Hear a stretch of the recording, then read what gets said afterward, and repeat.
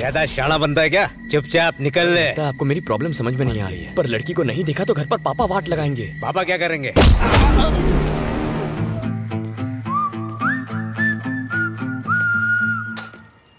क्या चीज़ है? इसे भी काट के फेंक देते हैं।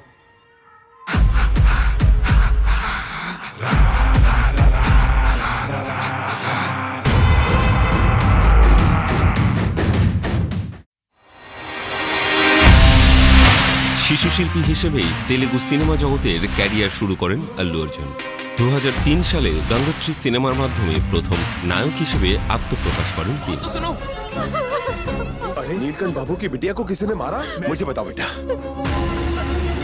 मैं स्कूल स्कूल से घर आ रही थी नहीं मारा नहीं किसी ने स्कूल की गेट से टकराकर मैं गिर पड़ी অল্প সময়ের মধ্যেই দাক্ষিণাত্যের স্টাইলিং স্টার হয়ে ওঠেন এই অভিনেতা এই আইকন স্টার এখন নিজের রাজ্য ও দেশ ছাড়িয়ে বিশ্বজুড়ে আলোচিত পুষ্পা দ্য রাইস সিনেমাটি দু সালের ডিসেম্বরে সিনেমা হলে মুক্তি পায়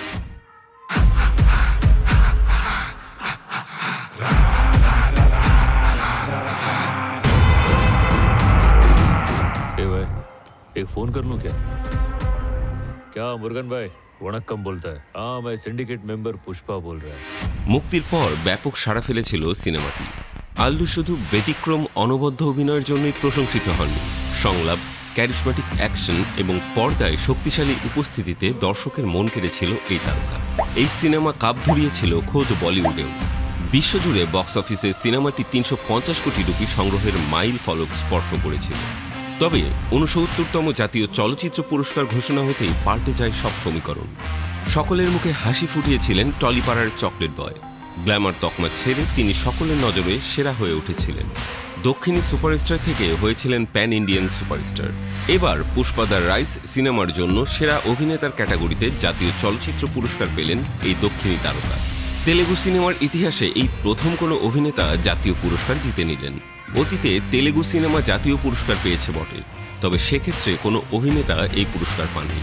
দিল্লির বিজ্ঞান ভবনে ঊনসত্তরতম জাতীয় চলচ্চিত্র পুরস্কার প্রদান অনুষ্ঠান অনুষ্ঠিত হয়।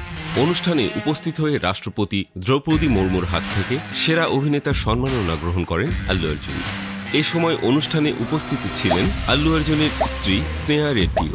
পুরস্কার হাতে নিতে নিজের অনুভূতি ব্যক্ত করতে গিয়ে আল্লু অর্জুন বলেন, আমি অনেক বেশি খুশি এমন সম্মাননা পেয়ে। কমার্শিয়াল সিনেমার জন্য এই পুরস্কার পাওয়ার আনন্দ আমার কাছে দ্বিগুণ। পুষ্পা যে দর্শক মনে কোন পর্যায়ে জনপ্রিয়তা লাভ করেছিল, তা আলাদা করে বলার অপেক্ষা রাখে না। আট থেকে আসি, সকলেই এই সিনেমার হুক স্টেপে গা ভাসিয়েছেন। সকলের মনে তবে থেকেই একটা প্রশ্ন বারবার উঠে এসেছে, কবে মুক্তি পাবে পুষ্পাদার রুল সিনেমাটি? খুব বেশি অপেক্ষা না করিয়ে আল্লু অর্জুন জানিয়ে দিলেন, পনেরোই আগস্ট দু হাজার চব্বিশ সালে মুক্তি পাবে এই সিনেমাটি। যার পর থেকেই সিনেমার দ্বিতীয় পর্ব পুষ্পাদার রুল সিনেমার অপেক্ষায় দিন গুনছেন সিনেপ্রেমীরা।